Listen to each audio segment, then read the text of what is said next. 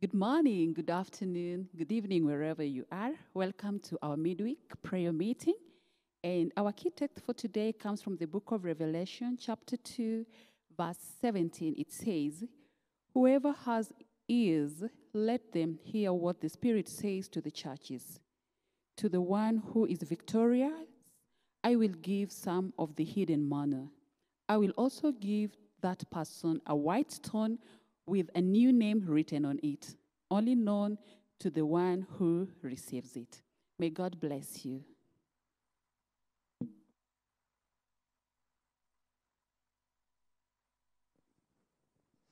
Amen.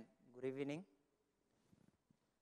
Good evening. I trust you are well tonight, and I trust the Lord has, give, has kept you in one piece. Our, our theme for tonight is the white stone, and our key text has been read is Revelation chapter 2, verse 17. I will reread again so that I can get an emphasis. He that has an ear, let him hear what the Spirit said to the churches. To him that overcomes, will I give to eat of the hidden manna. I will give him a white stone, and in the stone a new name written, which no man knows saving he that receives it. Shall we pray? Dear Lord, we desire to learn what is it all about this white stone. Dear Lord, speak to us. Fill us with your Holy Spirit, and may your presence not leave us. For we pray by faith in Jesus Christ's holy name. Amen. Okay, these words were said by Jesus to the church of Pergamos, but this evening we shall be putting them into our present day context. The book of Revelation has numerous promises to those who overcome. For instance, if you read Revelation chapter 2, verse 11, those will, who overcome will not be hurt by the second death. If you read chapter 2, verse 26, overcomers will be given powers over nations. If you read 3, verse 5, overcomers will be clothed in white garments. Their names will not be blotted out of the book of life, and their name will be confessed before the Father. If you read chapter 3, verse 21, those who will, who will overcome will sit on the throne of the Father. These are wonderful promises, and I pray to God that you and I get to experience these promises, having overcome the world and its sinfulness. But in addition to these promises, there is this curious promise in Revelation chapter 2, verse 17, that those who overcome will be given an opportunity to eat some of the hidden manna, and a white stone will be given to them with a new name written on the stone, that no one else will be knowing it except Jesus and the one who receives the stone. Our focus this evening will be on the white stone. But wait a minute. Wouldn't a golden stone with my name written on it be more precious? I thought if it were written on a nice diary notebook in calligraphy fonts and shining pages, maybe it would be more appealing. Or what if Jesus came up with one big monument stone and wrote all the names of those who overcome? I thought it would make a nice scene at the center of the New Jerusalem, but not the case. God has promised a white stone for each and every individual. What is the white stone all about? Well, the concept of the white stone of Revelation chapter 2, verse 17 has a very rich symbolic value. Tonight we shall look at three instances where the symbolism of, of the white stone was of enormous significance and consequences. The three instances are one, the white stone in the wilderness during the exodus of the children of Israel, the white stone in the ancient jury decisions, that is, ancient courtrooms, and that, the white stone in ancient travel treaties. But before we go far, maybe one could be asking, how could symbolism that was relevant during Exodus to Canaan have any significance in our Exodus to heavenly Canaan? How relevant would the meaning be that was there before the first advent of Christ be before the second advent of Christ? Could this symbolic value that was of great significance in the first century have any significance in this last century if Bible prophecy is anything to go by? I submit to us the symbolism could be of even greater significance to us in these last days. No wonder Jesus preferred to put it in the book of Revelation, a book which illustrates most of last days' occurrences. Let us look at the ancient symbolism and we put it into context with our current, our current present day. And we start with the white stone in the wilderness during the Exodus. The ancient rabbi used to have a legend or a story. They passed this story to their disciples and generations, and they used to say that during the Exodus, when God rained manna bread from heaven for the children of Israel, he also provided something more. According to the story, they say that God planted white stones in the wilderness, and the Israelites would pick these stones as a token of all the good gifts from God. The rabbi said that when you are thinking of the white stone, you are thinking of all of God's precious gift. They said that by beholding the white stone, your mind would think of a God who is so good that he would, he would bake bread from heaven and let it down in form of manna so that you don't starve in the desert. They said that when you think of the white stone, you are thinking of a God who is so caring as to provide water from a rock and quench your thirst.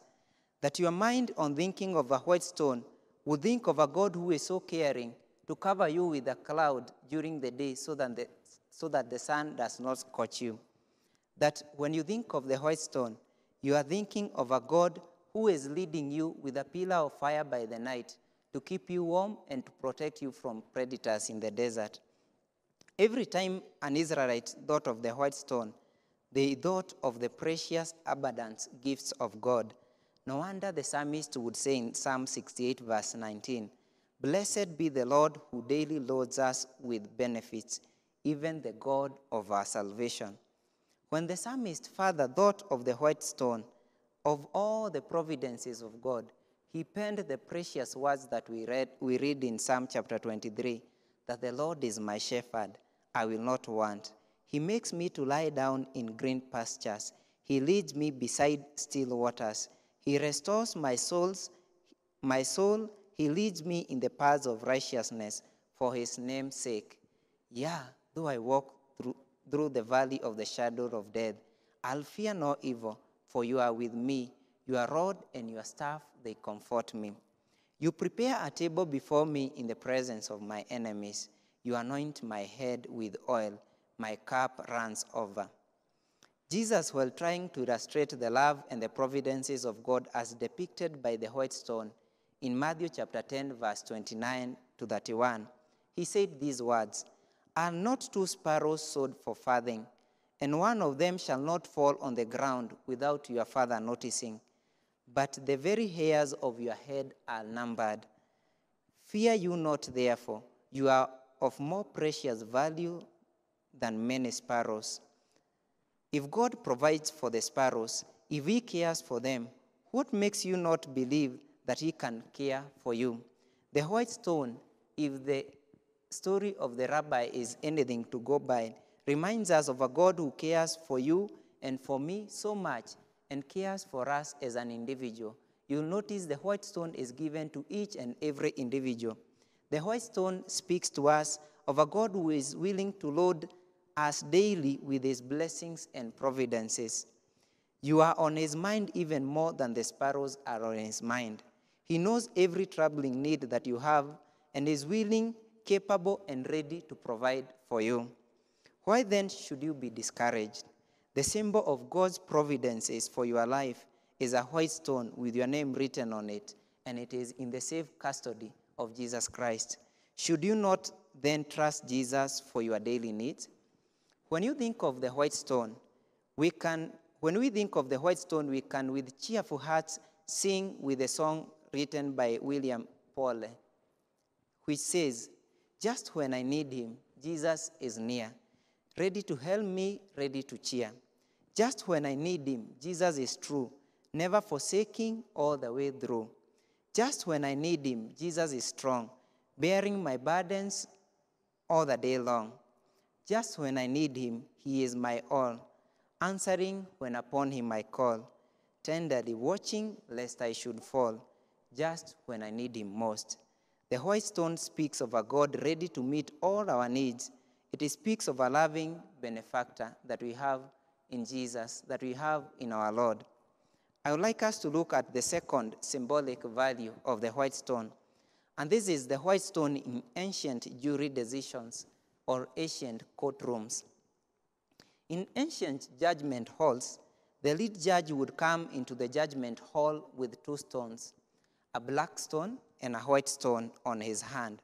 If the person was condemned, the judge would drop on the ground a black stone. The black stone indicated condemnation, guilt, imprisonment, a fine, or even death sentence. If the judge dropped a white stone, it indicated that the person had been freed and delivered. It meant either the person was innocent or it as well meant that the person was guilty of the offenses, but the judge had extended personal pardon, mercy, grace to the accused person. It meant that the person would be let free again. By Jesus promising a white stone, it signifies his readiness to extend mercy, grace, and forgiveness to all those who overcome. The white stone given to us will be an eternal reminder that we did not deserve to be saved, but God graciously decided to write pardon next to our names.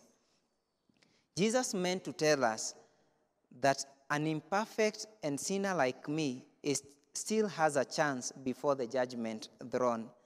Jesus meant to assure us that whenever the devil seeks to lead us to despair, when he reminds us of the guilt within, God has regarded our case and has decided to acquit us, and our fate is not condemnation and death, but deliverance and freedom. Friends, friends, the white stone says that there is no sin too bad for God to pardon. Allow me to illustrate this in a little dramatic way. I invite you to visualize the judgment room of God. Present in the room is God the Father, Jesus, the Holy Spirit, thousands upon thousands of angels. And we can see this scene clearly in Daniel chapter 7, verse 9 to 10. Then there is this recording angel in the form of a prosecutor who reads out your name in the judgment. I would invite you to visualize when your name is read, then follows charges against you. Then the angel proceeds further to read the corresponding punishment for your sin. The angel quotes the, quotes the words of Romans chapter 6, verse 23, that the wages of sin is death. But wait a minute, good angel. The verse continues to say, But the gift of God is eternal life in Jesus Christ our Lord. After my name is read in the judgment, after my guilt imperfections are read in the judgment, after my suitable fate is read in the judgment, Jesus steps forward, and because I am in Christ, and with Christ, and because of Christ, he drops a white stone. Immediately, the angel holding the book of records of sin puts a dash next to my name, and in bright letters that glow, he writes, Pardoned. Mercy is written next to my name. Grace is written next to my name. Freedom from sin and guilt and condemnation is written next to my name. This is a symbolic message of the white stone that Jesus wanted us to learn when he promised a white stone to all the overcomers. There is hope of forgiveness for all of us. When Paul understood that Jesus had a white stone, he wrote the words in Romans chapter 8, verse 1 that there is therefore now no condemnation to them which are in Christ Jesus, who walk not after the flesh, but after the Spirit. The white stone confirms the word in 1 John chapter 1 verse 9. If we confess our sins, he is faithful and just to forgive us our sins and to cleanse us from all unrighteousness. Jesus speaking through the through the white stone, he speaks the words of Romans chapter of Hebrews chapter 8 verse 12. For I'll be merciful to their unrighteousness, and their sins and iniquities will I remember no more. The white stone tells us of, that we have a high priest, whom, when our names come into judgment, he, starts, he stands before the wrath of God. He stands before the demands of sin, shielding us sinners with his blood. When covered with his blood, whiter than the snow, fullness of his love, then we shall know our life of scarlet, our sin and woe, will be made whiter than the snow. This is a promise of the white stone. Friend, there is a white stone, and Jesus awaits for you to respond to his invitation to confess your sins, and he will in turn drop a white stone in your name. Drop a white stone with your name written on it, and this will signify that your guilt is no more, that the judgment has been overturned, and mercy has been written next to your name. What a nice message to listen this evening that Jesus has a white stone signifying pardon, signifying personal mercy, signifying his grace to us who are sinners. But allow us to look at the third, the third symbolic value of the white stone. And this is white stone in ancient travel treatises. When travelers were traveling in ancient times, they often went on journeys that lasted for days, if not weeks. Whenever they could travel, there used to be no hotels where they could lodge in the nightfall. Often they depended on the hospitality of the people along the way where they passed through. People often welcomed them into their homes. No wonder in the fourth commandment, God was keen to remind that even the stranger in your house should not do any work on Sabbath, because being a stranger in somebody's house was a normal occurrence in those days. When the stranger would be welcomed, he would be provided with a meal and a place to sleep. If during the stay the, the traveler developed, developed a rapport with the host, if they developed a relationship from their interactions and a friendship bond was, was developed, the host would often take a white stone. He would split the stone into two, and on one half of the stone he would write his name, and on the other half he would write the name of the visiting stranger. The host would tell this stranger or this guest these words If you or any of your ch- children comes to this land, if you travel here again, even if I die, bring your half with my name written on it. My children and grandchildren and their generations will always retain the half with your name written on it. Should you ever present to, to them the half that has my name written on it, they will always welcome you here over and over again. Because this white stone is a symbol of our friendship, it is a symbol of our loyalty and oneness. The white stone sealed covenants made during travels, and their symbolic significance was respected by generations and generations. When Jesus promised a white stone with our names written on it, it meant that, it meant that when we were in this world, in this pilgrimage journey for heaven, when we agreed to take the name of Jesus with us, we children of weakness and of woe, he took it on himself to take our name with him also. He wrote it on a white stone and put, put it somewhere in his pocket as a symbol of our loyalty, a symbol of our oneness with Christ. And throughout the ages to come, the stone will keep our oneness with him confirmed. And when all is said and done, when, all, when we all get to heaven, Jesus will stretch his arm and hand each one of us his stone with his individual names written on it. This will tell us that throughout the ages, when our names, when he had our names, throughout the ages, that he had our names on his heart, that he remembered us always, no matter how long the stay on this world lasted. The white stone is a symbol of God's love care, and concern.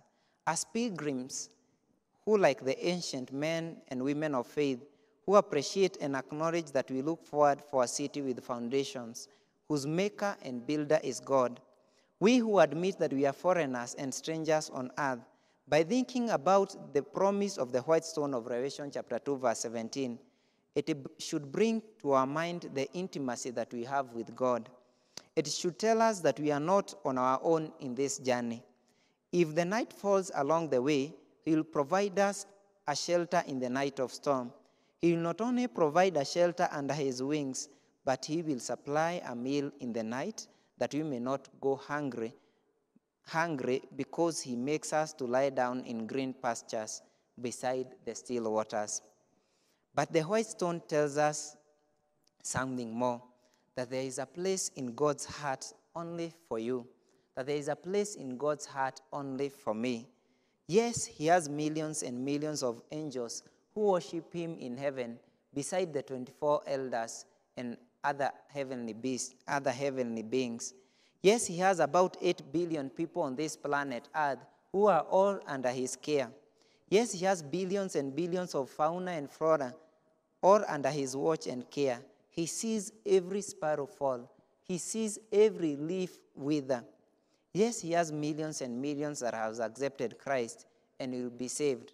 But when God looks at you, he looks at you as if nothing and nobody else were in existence. When he thinks of you, he narrows the focus to you alone. He knows your name, he knows your DNA, he knows where you live, he knows what troubles your mind. There is a love in his heart only for you. There is a place in his heart that nobody else can ever feel apart from you because like in the like an ancient traveler, you have developed a relationship and loyalty with him. But that somebody is thinking, how probably can that be true? How can God even think of me, yet I, I make mistake, I make mistakes? Don't you think if God were to know me with such intimacy, he would long have destroyed me because of how I am imperfect? Macharia, how true and practical could it be for God to love me alone amidst thousands of way better Christians than me? Is this not just another good and fantastic thought to meditate upon and keep our minds motivated, but in real sense, it is an ideal scenario? Think of this illustration. Imagine you are the fourth born and your three elder siblings are sisters. Imagine these sisters have all been married for several years now, but none has any child. Imagine how in vain they have tried every option available to get kids in vain. Now imagine you got married and in just a couple of years, God blessed you with six children.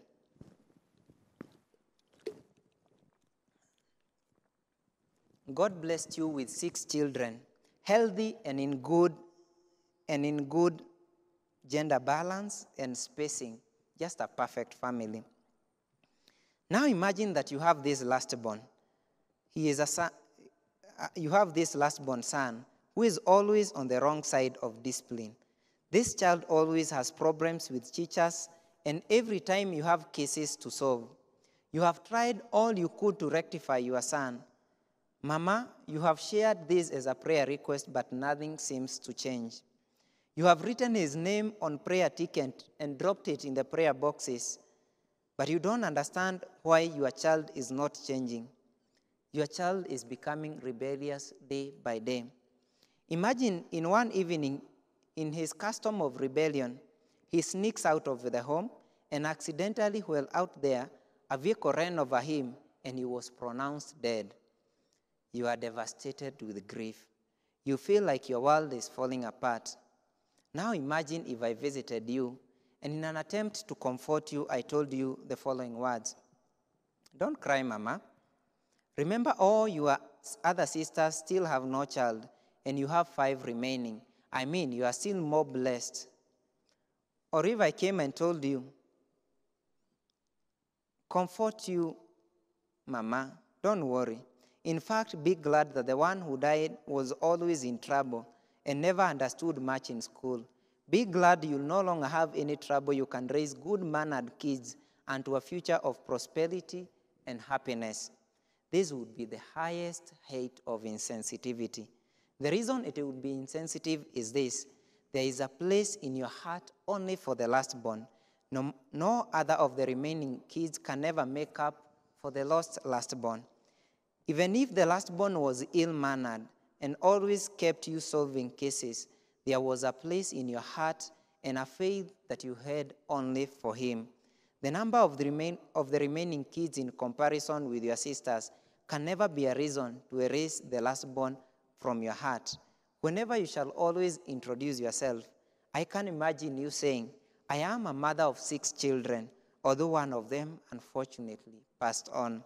There will be a place in your heart only for the last born that nobody else, not even an additional child, can ever feel. In 1 John chapter 3, verse 1, it says, See what love the Father has given us, that we should be called children of God. And that is that we, the reason the world does not know us is that it did not know him. God is our Father, and there is no doubt about it. You see, God is more attached to us as his children than any parent can ever be attached to his children. The Bible says in Isaiah chapter 49, verse 15 to 17, Can a mother forget the baby of her breast and have no compassion of the child she has born?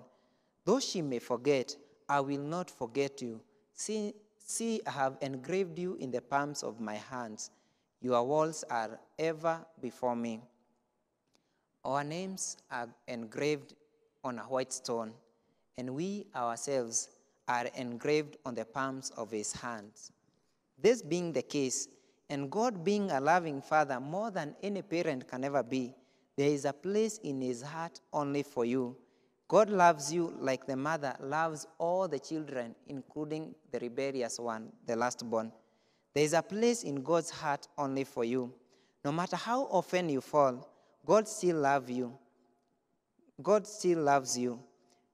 No wonder He will always allow you to attend revival meetings. No wonder He will always allow you to attend such evening vespers because He longs that you may get an opportunity to know Him, that you may get an opportunity to become a good child, just like the five, the five children of the mother. Should you ever be lost eternally, there will remain a place in God's heart that nobody else can ever fill. If you are lost, there will be a house in eternity that nobody else will ever occupy since Jesus is making a mansion for each one of us. In summary, the, the white stone represents God's providences of all good things for his children. This is the symbol of the white stone during the Exodus. The white stone represents God's mercy and pardon for all his children. This is the symbol of the white stone in the judgment room. The white stone represents a personal love, care, and concern that God has just for you. This is represented by the treaties that travelers could make with their host as they traveled in their journeys in ancient days. The white stone assures us that God is willing to offer pardon and mercy in exceeding measures only for you.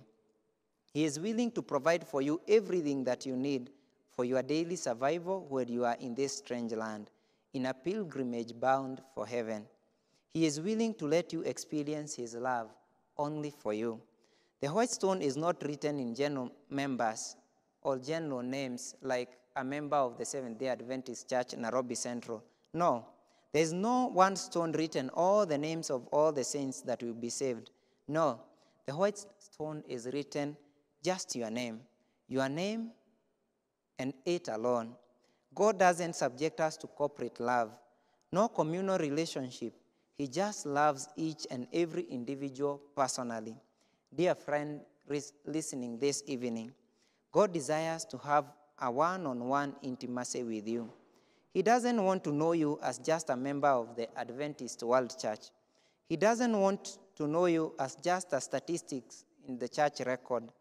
He wants to love you, to express his love for you just to you.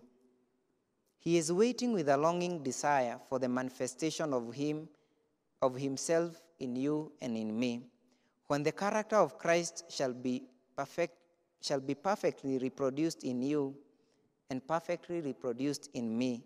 Then he shall come to claim you as his own, to claim me as his own. A paraphrase of a paraphrase from the spirit of prophecy. Then he shall hand to each one of us our individual white stones, an eternal symbol of all his gross love for you and his gross love for me. Will you say with me this evening, Jesus, I now understand how individualized your love is for me. I now understand beyond any shadow of doubt that there is a place in your heart only for me, that there is providence that you've put in place only for me, that there is pardon that you have only for me, that there is a relationship that you desire to have only with me. Help me to have this reality in my heart. Shall we pray? Eternal loving Father in heaven, we appreciate so much that you promise those who overcome, you'll give them a white stone. A white stone, a symbol of all your providences to your children. A white stone, a symbol of all the pardon and mercy and grace that you extend to your children. That though, that though we are guilty of sin, your blood can always wash us and cleanse us and give us an opportunity. And Jesus, you can drop a white stone in the judgment room of God, and pardon is granted unto us. We appreciate that there is a white stone, there is a memorial of the relationship of loyalty that you, have established with us. Help us to grasp this reality. Help us to embrace this truth. Help us never forget that you have a white stone and our names are written on it. And one day you shall hand to each one of us his and her own white stone. And then henceforth we shall dwell with you eternally, thanking you for everything that you did to us when we were on this world.